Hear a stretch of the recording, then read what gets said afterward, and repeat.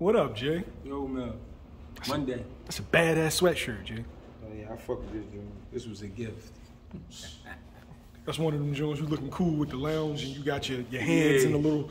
I don't even know what that compartment is. Yeah. you know, they always got the fucking air on somewhere. exactly. All right, Vasyl Lomachenko, Yeah. Jamaine Ortiz. It's a much better fight than some people expected. I knew Jamaine Ortiz can go. Yeah. You did too. What was your thoughts on it?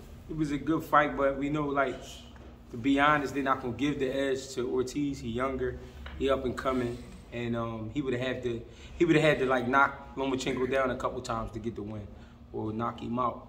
Um, Lomachenko looked, he looked, he looked good, but not, of course, not the old Lomachenko. At 34 years old, you can tell he's slowing down, and his decision making and his reflexes isn't the same anymore. But he he good enough to keep putting on good performances and, and edging out guys. The problem is, you know what I mean, when you get him in there with a, more of a top tier guy, you're gonna have a lot more trouble.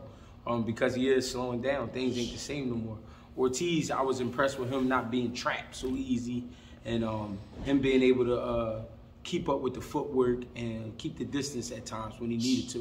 And he wasn't there for every little thing Lomachenko was giving him, but he was adjusting well. You know what I mean? So it made for a great fight. I had it a draw myself because I gave the first half of the fight to Ortiz and the second half to Lomachenko.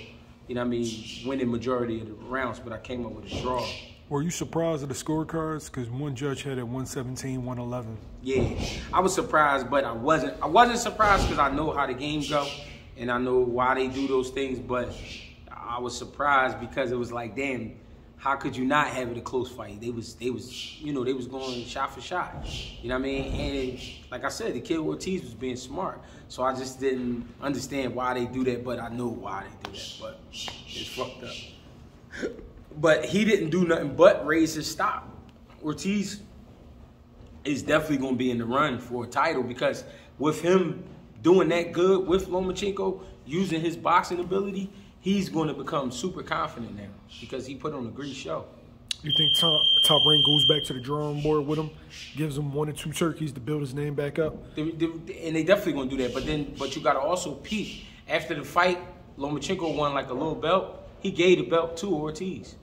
You know what I mean? You know, I don't think if a lot of people peep that, but he handed the belt to Ortiz to say basically you won, or or or to say you know what I mean? I respect you so much that I'm gonna give you this title, and and that's also how you know titles don't really mean much in boxing. But you know what I mean? Lomachenko respected him that much to hand him that that title.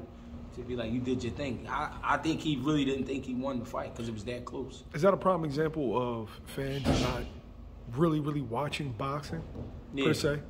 Because Jamaine Ortiz, decorated amateur, undefeated, just got finished beating Jamel Herring, Yeah, beat uh, Nahir Albright. yeah. So he has some wins under his belt. But there's dudes that I actually thought that he was a can because they didn't recognize his name. Yeah, but that's but that's to be expected because a lot of people don't pay attention to, to the fighters who who aren't being talked about all the time.